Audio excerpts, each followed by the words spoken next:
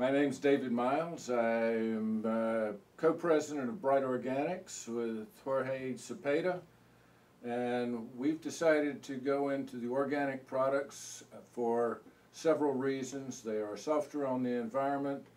The organic market is growing very rapidly at 20% a year compared to commercial agriculture. The, these products are perceived by the public as safer, which also by the EPA as well. Um, they are used by homeowners in homeowner gardens because they feel more comfortable with these type of products than they do with conventional agricultural products.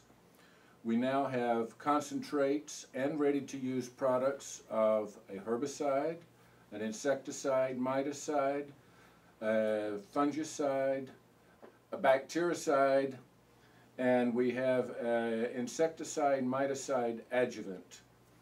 Uh, we've field tested most of these and they will, four out of the five of these will be ready for commercialization in the first quarter of 2010. For more information on these products, go to www.brightorganics.com.